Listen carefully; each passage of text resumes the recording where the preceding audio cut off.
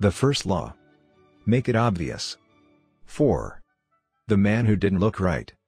The psychologist Gary Klein once told me a story about a woman who attended a family gathering. She had spent years working as a paramedic and, upon arriving at the event, took one look at her father-in-law uh, and got very concerned. I don't like the way you look, she said. Her father-in-law, who was feeling perfectly fine, jokingly replied, well, I don't like your looks, either. No, she insisted. You need to go to the hospital now. A few hours later, the man was undergoing life-saving surgery after an examination had revealed that he had a blockage to a major artery and was at immediate risk of a heart attack. Without his daughter-in-law's intuition, he could have died. What did the paramedic see? How did she predict his impending heart attack? When major arteries are obstructed, the body focuses on sending blood to critical organs and away from peripheral locations near the surface of the skin. The result is a change in the pattern of distribution of blood in the face.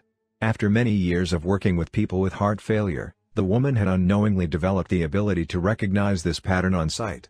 She couldn't explain what it was that she noticed in her father-in-law's face, but she knew something was wrong.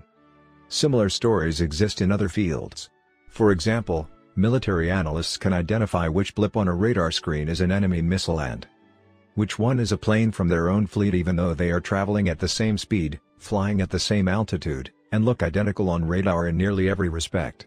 During the Gulf War, Lieutenant Commander Michael Riley saved an entire battleship when he ordered a missile shot down, despite the fact that it looked exactly like the battleship's own planes on radar.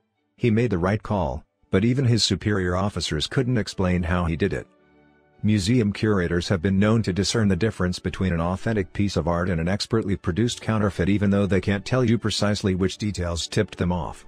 Experienced radiologists can look at a brain scan and predict the area where a stroke will develop before any obvious signs are visible to the untrained eye.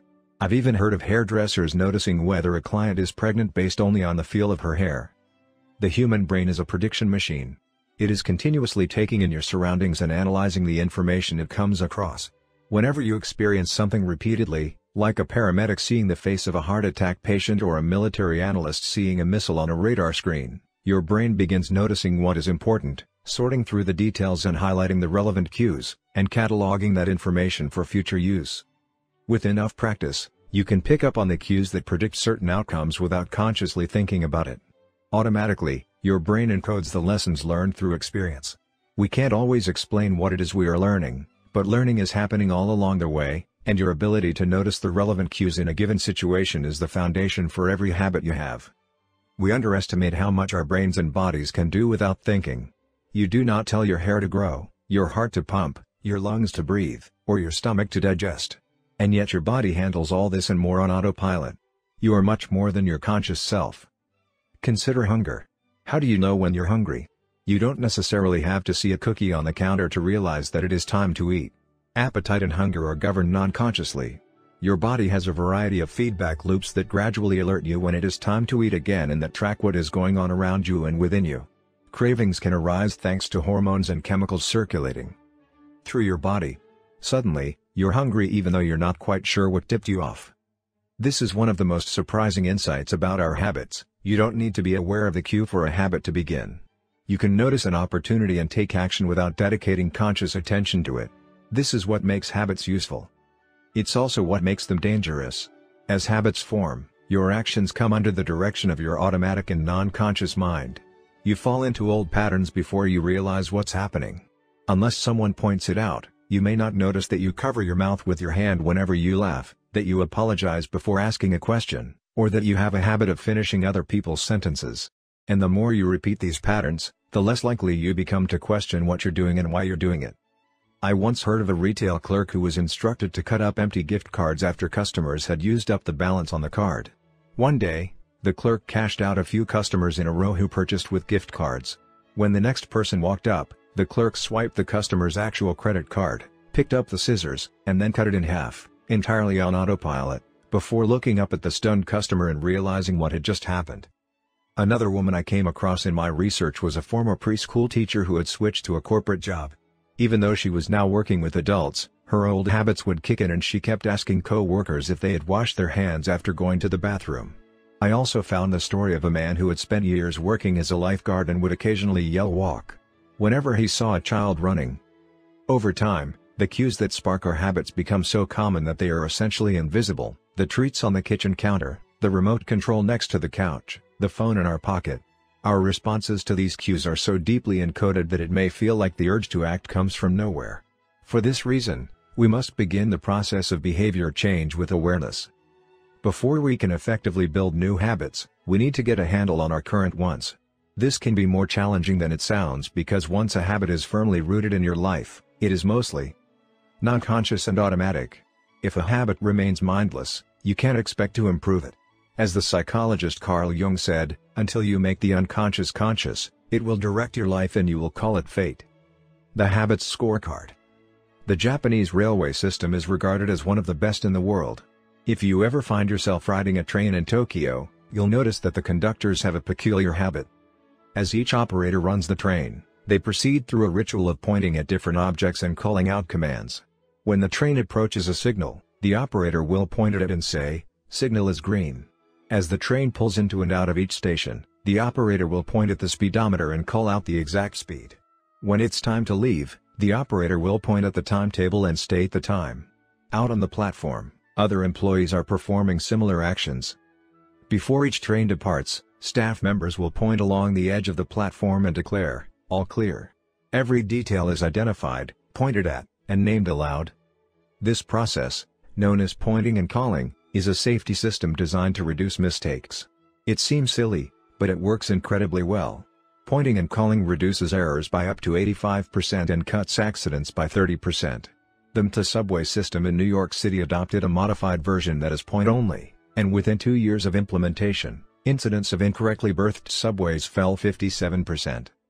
Pointing and calling is so effective because it raises the level of awareness from a non-conscious habit to a more conscious level. Because the train operators must use their eyes, hands, mouth, and ears, they are more likely to notice problems before something goes wrong. My wife does something similar. Whenever we are preparing to walk out the door for a trip, she verbally calls out the most essential items in her packing list. I've got my keys. I've got my wallet. I've got my glasses. I've got my husband. The more automatic a behavior becomes, the less likely we are to consciously think about it.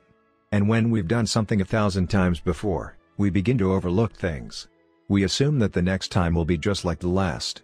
We're so used to doing what we've always done that we don't stop to question whether it's the right thing to do at all. Many of our failures in performance are largely attributable to a lack of self-awareness. One of our greatest challenges in changing habits is maintaining awareness of what we are actually doing. This helps explain why the consequences of bad habits can sneak up on us. We need a point and call system for our personal lives. That's the origin of the Habits Scorecard, which is a simple exercise you can use to become more aware of your behavior. To create your own, make a list of your daily habits. Here's a sample of where your list might start. Wake up. Turn off alarm, check my phone, go to the bathroom, weigh myself. Take a shower, brush my teeth, floss my teeth, put on deodorant. Hang up towel to dry, get dressed make a cup of tea, and so on. Once you have a full list, look at each behavior, and ask yourself, is this a good habit, a bad habit, or a neutral habit? If it is a good habit, write plus next to it. If it is a bad habit, write minus. If it is a neutral habit, write equals. For example, the list above might look like this. Wake up, equals. Turn off alarm, equals. Check my phone, minus. Go to the bathroom, equals. Weigh myself, plus. Take a shower, plus. Brush my teeth, plus. Floss my teeth, plus.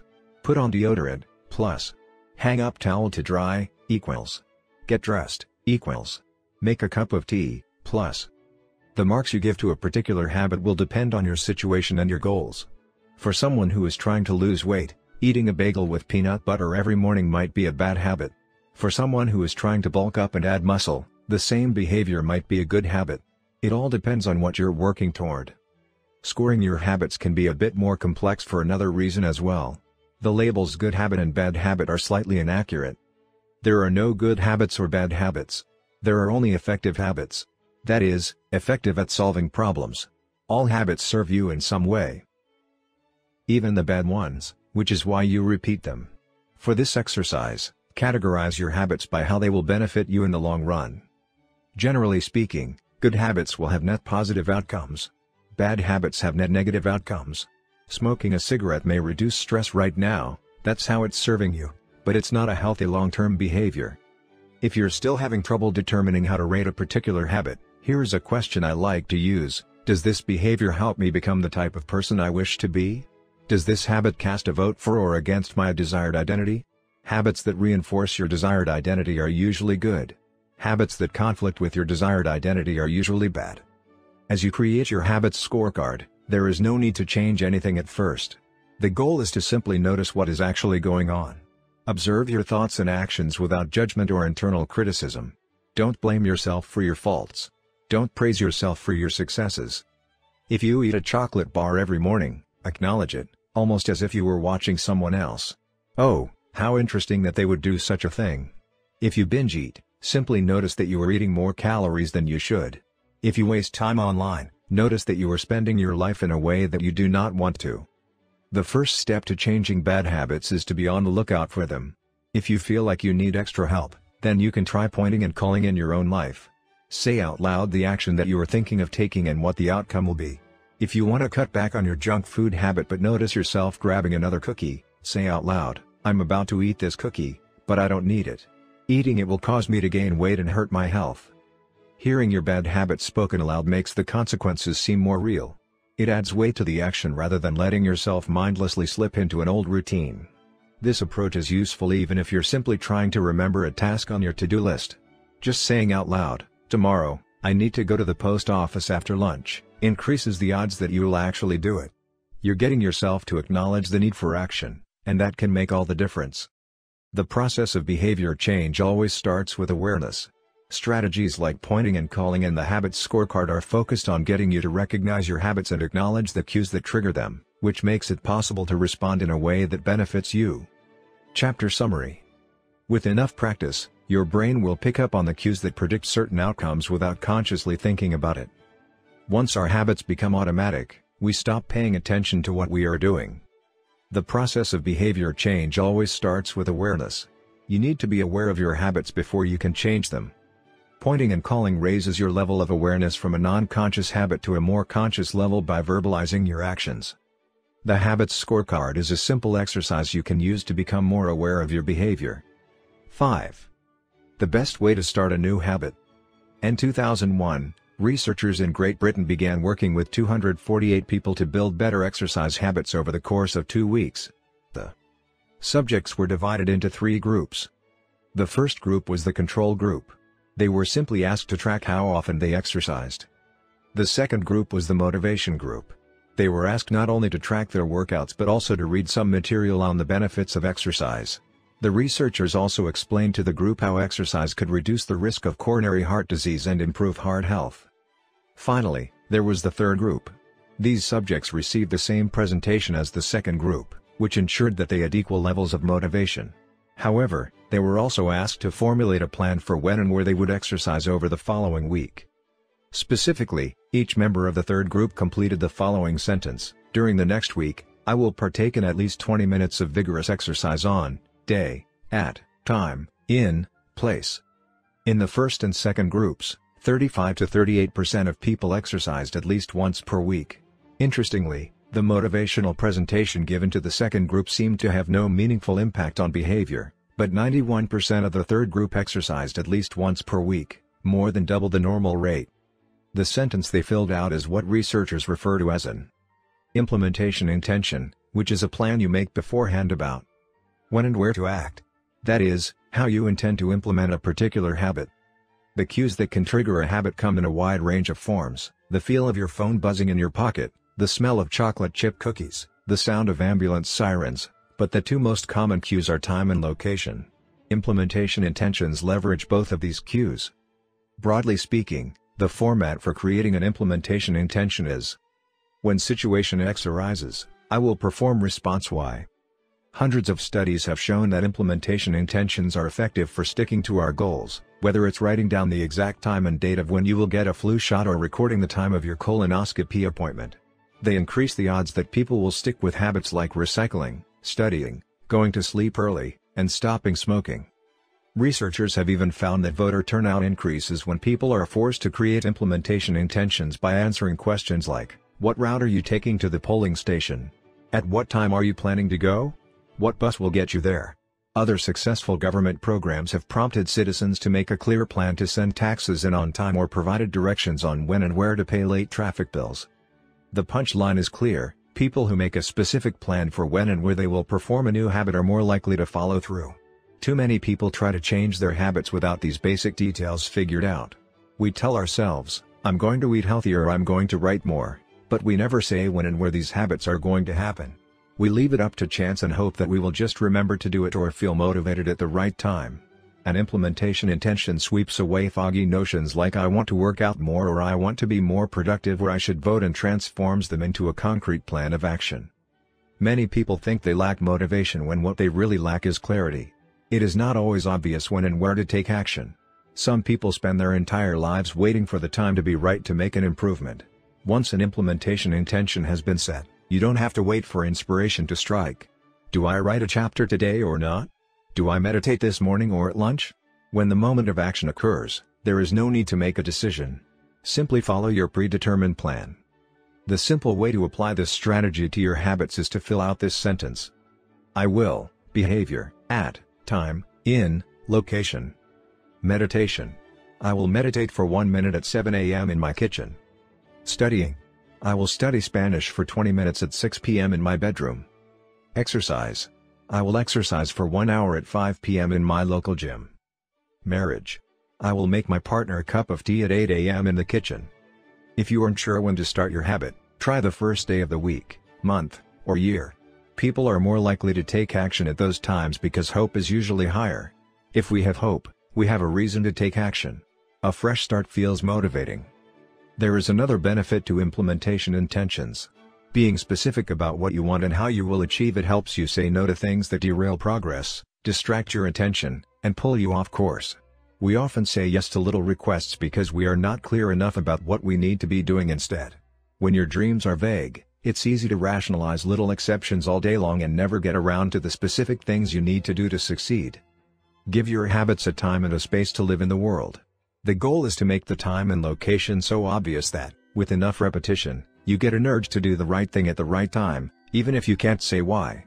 As the writer Jason Zweig noted, obviously you're never going to just work out without conscious thought. But like a dog salivating at a bell, maybe you start to get antsy around the time of day you normally work out. There are many ways to use implementation intentions in your life and work. My favorite approach is one I learned from Stanford professor B.J. Fogg and it is a strategy I refer to as habit stacking. Habit stacking, a simple plan to overhaul your habits. The French philosopher Denis Diderot lived nearly his entire life in poverty, but that all changed one day in 1765. Diderot's daughter was about to be married and he could not afford to pay for the wedding. Despite his lack of wealth, Diderot was well known for his role as the co-founder and writer of Encyclopédie, one of the most comprehensive encyclopedias of the time. When Catherine the Great, the Empress of Russia, heard of Diderot's financial troubles, her heart went out to him. She was a book lover and greatly enjoyed his encyclopedia. She offered to buy Diderot's personal library for £1,000. More than $150,000 today. Suddenly, Diderot had money to spare. With his new wealth, he not only paid for the wedding but also acquired a scarlet robe for himself.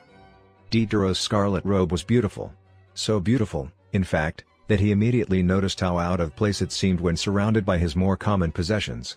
He wrote that there was no more coordination, no more unity, no more beauty between his elegant robe and the rest of his stuff. Diderot soon felt the urge to upgrade his possessions. He replaced his rug with one from Damascus. He decorated his home with expensive sculptures. He bought a mirror to place above the mantel, and a better kitchen table. He tossed aside his old straw chair for a leather one. Like falling dominoes, one purchase led to the next. Diderot's behavior is not uncommon. In fact, the tendency for one purchase to lead to another one has a name, the Diderot effect. The Diderot effect states that obtaining a new possession often creates a spiral of consumption that leads to additional purchases. You can spot this pattern everywhere. You buy a dress and have to get new shoes and earrings to match.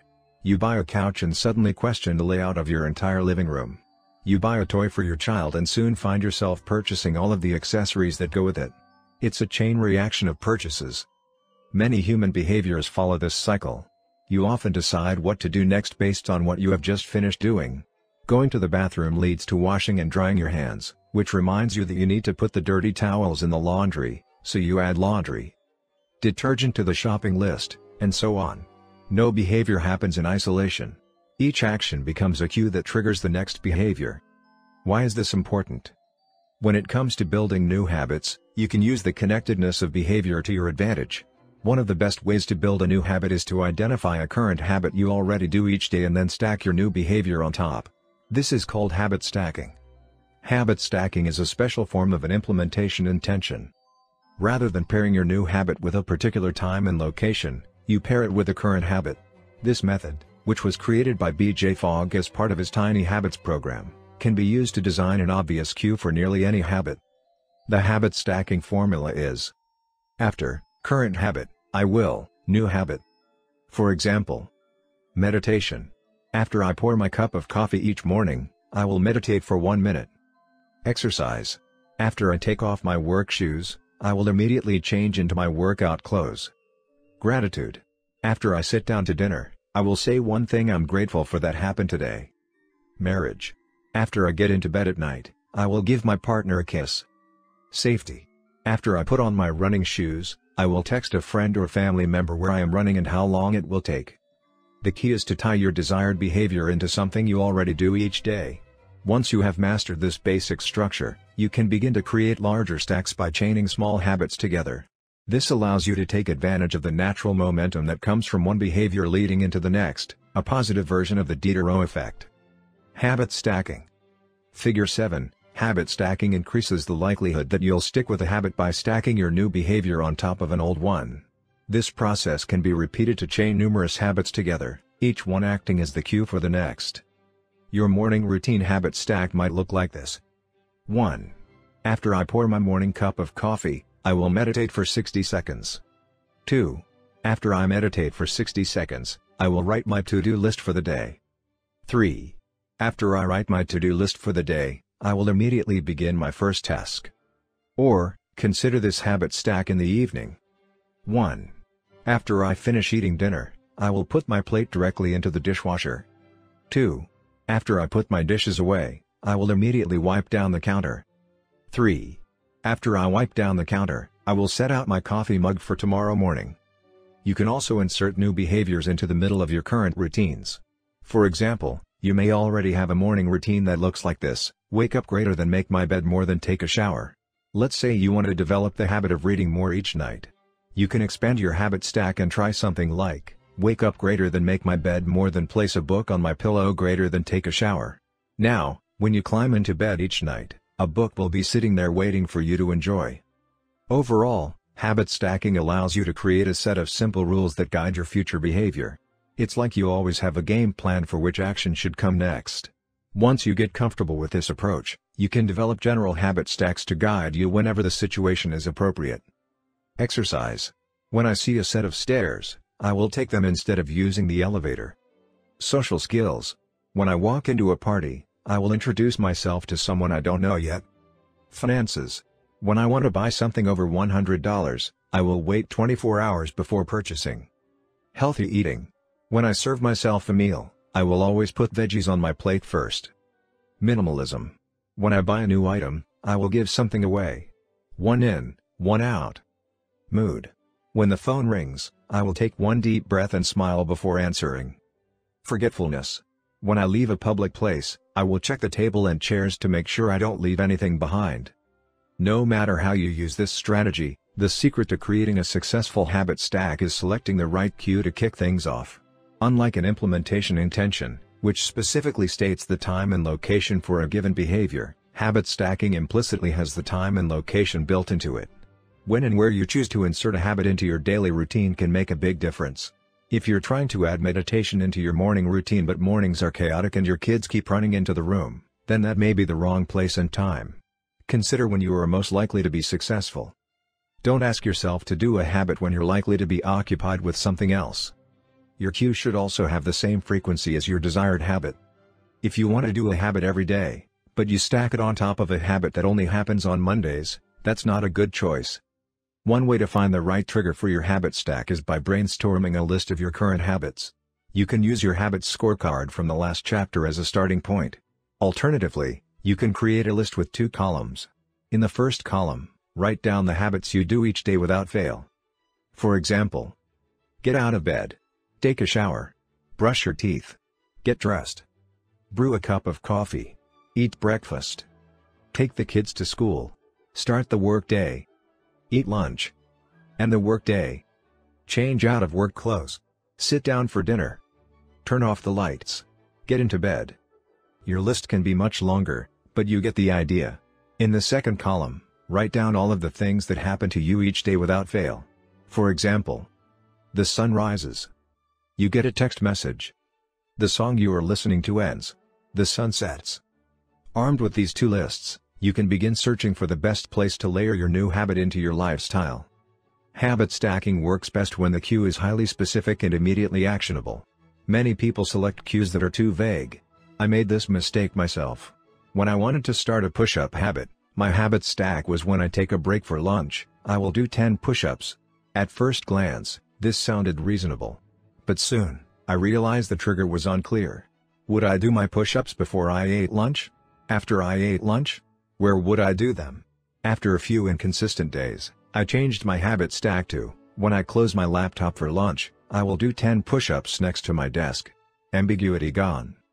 Habits like read more or eat better are worthy causes, but these goals do not provide instruction on how and when to act. Be specific and clear, after I close the door. After I brush my teeth. After I sit down at the table. The specificity is important. The more tightly bound your new habit is to a specific cue, the better the odds are that you will notice when the time comes to act. The first law of behavior change is to make it obvious. Strategies like implementation intentions and habit stacking are among the most practical ways to create obvious cues for your habits and design a clear plan for when and where to take action. Chapter Summary The first law of behavior change is make it obvious. The two most common cues are time and location. Creating an implementation intention is a strategy you can use to pair a new habit with a specific time and location. The implementation intention formula is, I will, behavior, at, time, in, location. Habit stacking is a strategy you can use to pair a new habit with a current habit. The habit stacking formula is, after, current habit, I will, new habit. 6. Motivation is overrated, environment often matters more. Anne Thorndike, a primary care physician at Massachusetts General Hospital in Boston, had a crazy idea. She believed she could improve the eating habits of thousands of hospital staff and visitors without changing their willpower or motivation in the slightest way. In fact, she didn't plan on talking to them at all. Thorndike and her colleagues designed a six-month study to alter the choice architecture of the hospital cafeteria. They started by changing how drinks were arranged in the room. Originally, the refrigerators located next to the cash registers in the cafeteria were filled with only soda. The researchers added water as an option to each one. Additionally, they placed baskets of bottled water next to the food stations throughout the room. Soda was still in the primary refrigerators, but water was now available at all drink locations. Over the next three months, the number of soda sales at the hospital dropped by 11.4%. Meanwhile, sales of bottled water increased by 25.8%. They made similar adjustments, and saw similar results, with the food in the cafeteria. Nobody had said a word to anyone eating there. Before. After. Figure 8, here's a representation of what the cafeteria looked like before the environment design changes were made, left, and after, right. The shaded boxes indicate areas where bottled water was available in each instance. Because the amount of water in the environment was increased, behavior shifted naturally and without additional motivation. People often choose products not because of what they are, but because of where they are. If I walk into the kitchen and see a plate of cookies on the counter, I'll pick up half a dozen and start eating, even if I hadn't been thinking about them beforehand and didn't necessarily feel hungry. If the communal table at the office is always filled with donuts and bagels, it's going to be hard not to grab one every now and then. Your habits change depending on the room you are in and the cues in front of you.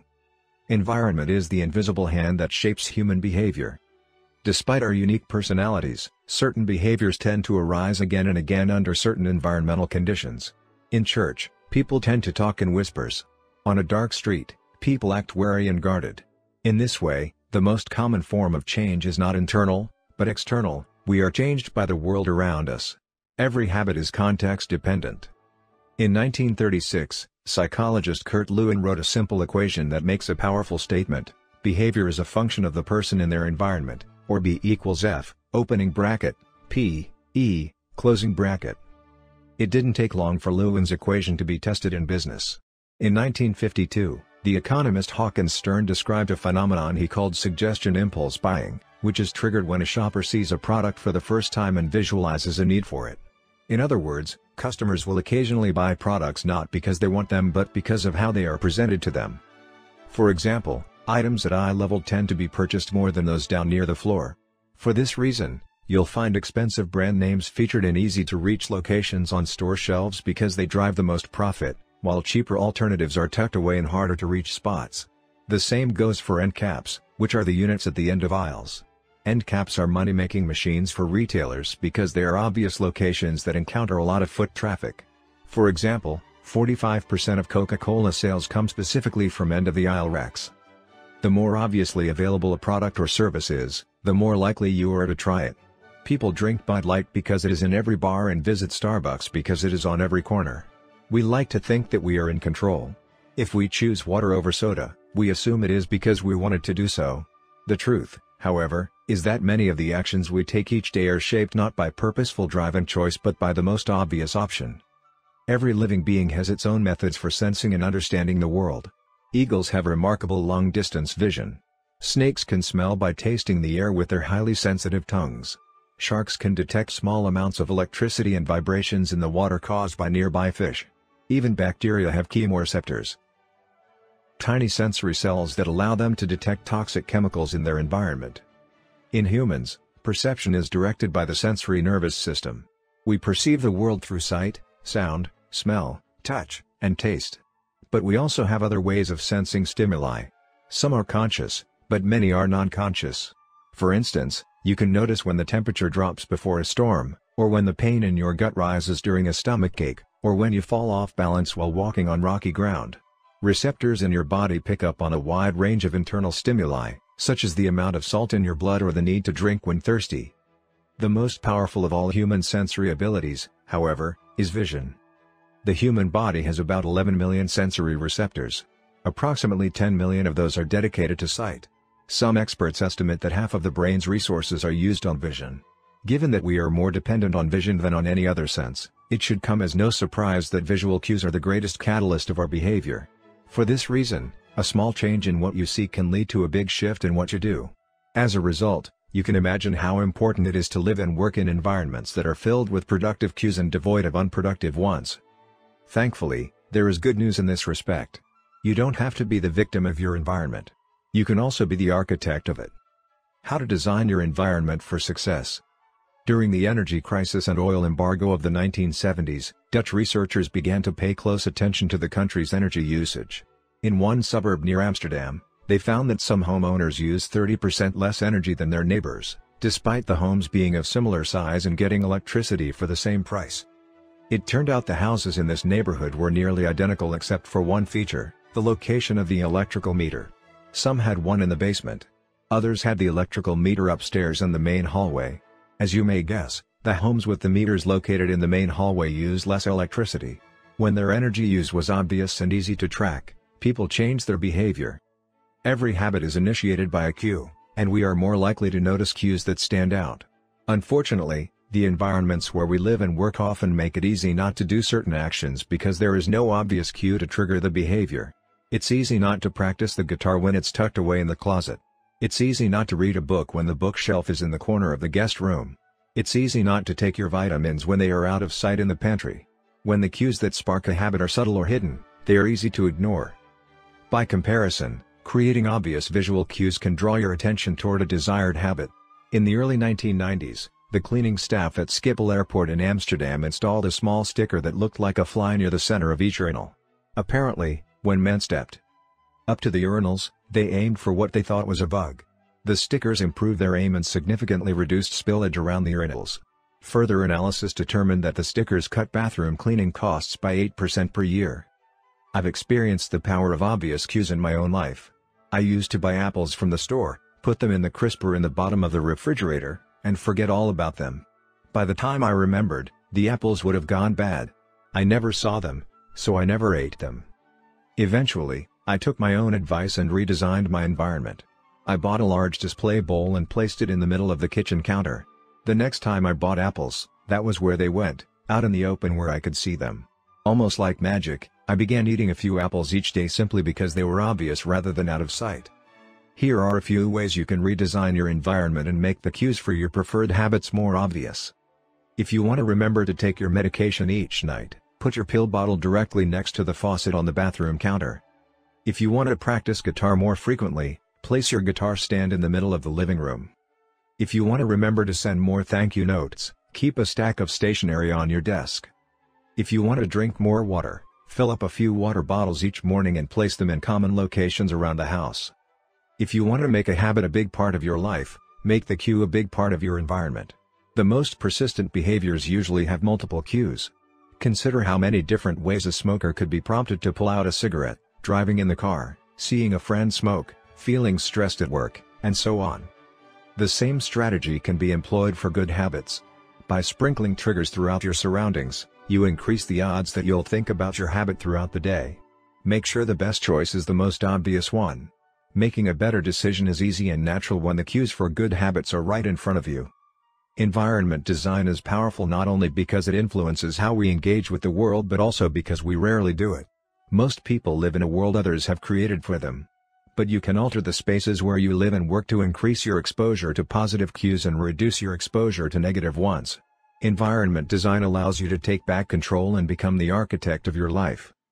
Be the designer of your world and not merely the consumer of it. The context is the cue.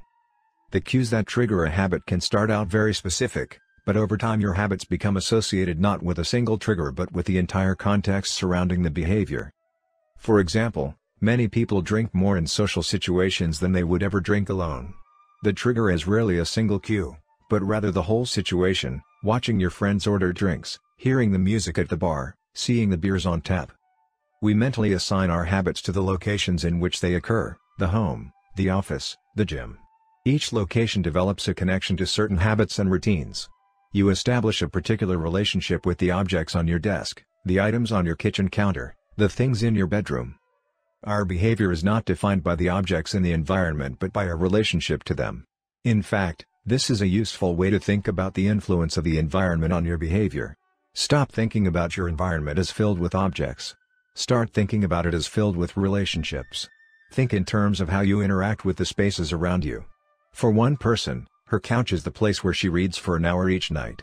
For someone else, the couch is where he watches television and eats a bowl of ice cream after work. Different people can have different memories, and thus different habits, associated with the same place. The good news? You can train yourself to link a particular habit with a particular context. In one study, scientists instructed insomniacs to get into bed only when they were tired. If they couldn't fall asleep, they were told to sit in a different room until they became sleepy. Over time, subjects began to associate the context of their bed with the action of sleeping, and it became easier to quickly fall asleep when they climbed in bed. Their brains learned that sleeping, not browsing on their phones, not watching television, not staring at the clock, was the only action that happened in that room. The power of context also reveals an important strategy, habits can be easier to change in a new environment. It helps to escape the subtle triggers and cues that nudge you toward your current habits. Go to a new place, a different coffee shop, a bench in the park, a corner of your room you seldom use, and create a new routine there. It is easier to associate a new habit with a new context than to build a new habit in the face of competing cues. It can be difficult to go to bed early if you watch television in your bedroom each night. It can be hard to study in the living room without getting distracted if that's where you always play video games. But when you step outside your normal environment, you leave your behavioral biases behind. You aren't battling old environmental cues, which allows new habits to form without interruption. Want to think more creatively? Move to a bigger room, a rooftop patio, or a building with expansive architecture. Take a break from the space where you do your daily work, which is also linked to your current thought patterns. Trying to eat healthier? It is likely that you shop on autopilot at your regular supermarket. Try a new grocery store, you may find it easier to avoid unhealthy food when your brain doesn't automatically know where it is located in the store. When you can't manage to get to an entirely new environment, redefine or rearrange your current one. Create a separate space for work, study, exercise, entertainment, and cooking. The mantra I find useful is one space, one use. When I started my career as an entrepreneur, I would often work from my couch or at the kitchen table. In the evenings, I found it very difficult to stop working. There was no clear division between the end of work time and the beginning of personal time. Was the kitchen table my office or the space where I ate meals? Was the couch where I relaxed or where I sent emails? Everything happened in the same place. A few years later, I could finally afford to move to a home with a separate room for my office. Suddenly, work was something that happened in here and personal life was something that happened out there. It was easier for me to turn off the professional side of my brain when there was a clear dividing line between work life and home life. Each room had one primary use. The kitchen was for cooking. The office was for working. Whenever possible, avoid mixing the context of one habit with another. When you start mixing contexts, you'll start mixing habits, and the easier ones will usually win out. This is one reason why the versatility of modern technology is both a strength and a weakness. You can use your phone for all sorts of tasks, which makes it a powerful device. But when you can use your phone to do nearly anything, it becomes hard to associate it with one task. You want to be productive, but you're also conditioned to browse social media, check email, and play video games whenever you open your phone. It's a mishmash of cues. You may be thinking, you don't understand. I live in New York City. My apartment is the size of a smartphone. I need each room to play multiple roles. Fair enough. If your space is limited, divide your room into activity zones, a chair for reading, a desk for writing, a table for eating. You can do the same with your digital spaces. I know a writer who uses his computer only for writing, his tablet only for reading, and his phone only for social media and texting. Every habit should have a home. If you can manage to stick with this strategy, each context will become associated with a particular habit and mode of thought. Habits thrive under predictable circumstances like these. Focus comes automatically when you are sitting at your work desk. Relaxation is easier when you are in a space designed for that purpose. Sleep comes quickly when it is the only thing that happens in your bedroom. If you want behaviors that are stable and predictable, you need an environment that is stable and predictable. A stable environment where everything has a place and a purpose is an environment where habits can easily form. Chapter Summary Small changes in context can lead to large changes in behavior over time. Every habit is initiated by a cue. We are more likely to notice cues that stand out. Make the cues of good habits obvious in your environment. Gradually, your habits become associated not with a single trigger but with the entire context surrounding the behavior. The context becomes the cue. It is easier to build new habits in a new environment because you are not fighting against old cues. Hope you enjoy your listening. I would greatly appreciate if you take a second, press that thumbs up button below and subscribe to the channel, so more people find this video and educate themselves, reading. It means a lot. Thank you. The audiobook continues, thanks for your time. 7. The Secret to Self-Control. In 1971, as the Vietnam War was heading into its 16th year, Congressman Robert Steele from Connecticut and Morgan Murphy from Illinois made a discovery that stunned the American public. While visiting the troops, they had learned that over 15% of U.S. soldiers stationed there were heroin addicts. Follow-up research revealed that 35% of service members in Vietnam had tried heroin and as many as 20% were addicted, the problem was even worse than they had initially thought. The discovery led to a flurry of activity in Washington, including the creation of the Special Action Office of Drug Abuse Prevention under President Nixon to promote prevention and rehabilitation and to track addicted service members when they returned home. Lee Robins was one of the researchers in charge. In a finding that completely upended the accepted beliefs about addiction, Robins found that when soldiers who had been heroin users returned home, only 5% of them became re-addicted within a year, and just 12% relapsed within three years. In other words, approximately 9 out of 10 soldiers who used heroin in Vietnam eliminated their addiction nearly overnight. This finding contradicted the prevailing view at the time, which considered heroin addiction to be a permanent and irreversible condition. Instead, Robins revealed that addictions could spontaneously dissolve if there was a radical change in the environment. In Vietnam, soldiers spent all day surrounded by cues triggering heroin use, it was easy to access, they were engulfed by the constant stress of war, they built friendships with fellow soldiers who were also heroin users, and they were thousands of miles from home. Once a soldier returned to the United States, though, He found himself in an environment devoid of those triggers. When the context changed, so did the habit. Compare this situation to that of a typical drug user. Someone becomes addicted at home or with friends, goes to a clinic to get clean, which is devoid of all the environmental stimuli that prompt their habit, then returns to their old neighborhood with all of their previous cues that caused them to get addicted in the first place. It's no wonder that usually you see numbers that are the exact opposite of those in the Vietnam study. Typically, 90% of heroin users become re-addicted once they return home from rehab. The Vietnam studies ran counter to many of our cultural beliefs about bad habits because it challenged the conventional association of unhealthy behavior as a moral weakness. If you're overweight, a smoker, or an addict, you've been told your entire life that it is because you lack self-control, maybe even that you're a bad person. The idea that a little bit of discipline would solve all our problems is deeply embedded in our culture. Recent research, however, shows something different. When scientists analyze people who appear to have tremendous self-control, it turns out those individuals aren't all that different from those who are struggling. Instead, disciplined people are better at structuring their lives in a way that does not require heroic willpower and self-control. In other words, they spend less time in tempting situations. The people with the best self-control are typically the ones who need to use it the least. It's easier to practice self-restraint when you don't have to use it very often. So, yes, perseverance, grit, and willpower are essential to success, but the way to improve these qualities is not by wishing you were a more disciplined person, but by creating a more disciplined environment. This counterintuitive idea makes even more sense once you understand what happens when a habit is formed in the brain. A habit that has been encoded in the mind is ready to be used whenever the relevant situation arises. When Patty Olwell, a therapist from Austin, Texas, started smoking, she would often light up while riding horses with a friend.